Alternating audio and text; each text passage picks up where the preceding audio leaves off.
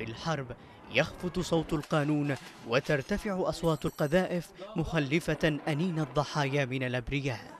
قصف المدنيين في تعز تلك القصة القديمة المتجددة والمؤرقة تعود للظهور هذه المرة من خلال تقرير لهيومن رايتس ووتش تقول فيه إن ميليشيات الحوثي وصالح تنتهك قوانين الحرب في تعز. وتقول أيضا إنه خلال عشرة أيام في مايو 2017 قتلت الميليشيا في قصفها على المدينة ثلاثين مدنيا على الأقل وجرح أكثر من 160 آخرين. المنظمة ذكرت أيضا أنه وفي ثلاثة أيام فقط وثقت سبع هجمات تسببت في مقتل 12 مدنيا على الأقل بينهم أربعة أطفال وأصابت 29 آخرين بينهم عشرة أطفال.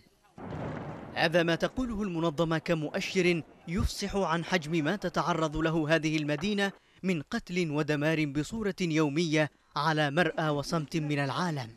لكن هذا ليس كل شيء. فخلال عامين من الحرب شهدت مدينة تعز المكتظة بالسكان آلاف الهجمات أودت بحياة قرابة تسعة آلاف من المدنيين منذ اندلاع الحرب منهم 247 طفلا وإحدى وثمانون امرأة. فيما بلغ عدد الجرحى عشرين ألف مدني بينهم أكثر من ثمانمائة طفل وأربعمائة امرأة.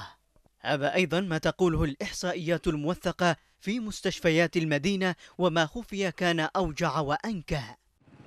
إنها تعز قربان الحرب المدينة التي أصبح استهداف المدنيين شأنا يوميا وعادة تنتهجها الميليشيا منذ الانقلاب. ما الذي سيقدمه تقرير هيومن رايتس غير أنه شاهد نوعي لجرائم الحرب في تعز؟ ودون ذلك سيظل المدنيون هدفا لقذائف الميليشيا ينتظرون الموت الذي يأتيهم من حيث يعلمون موقعه وأدواته بينما يتجاهله العالم.